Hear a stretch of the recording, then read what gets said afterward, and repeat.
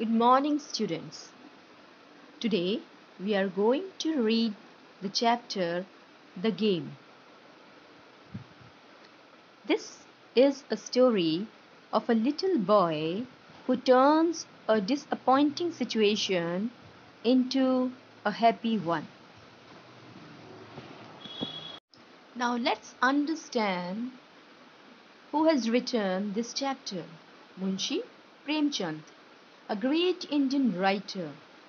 His real name was Dhanpat Rai Srivastava.